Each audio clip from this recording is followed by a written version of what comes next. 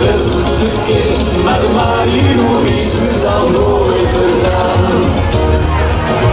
De oude brengt ons wel naar verre. De meester naar God, kapitein van zijn schuit. Hij houdt steeds de koers, verliest nooit het noorden. Al lukt die soms dronken in zijn kajuit. De Marie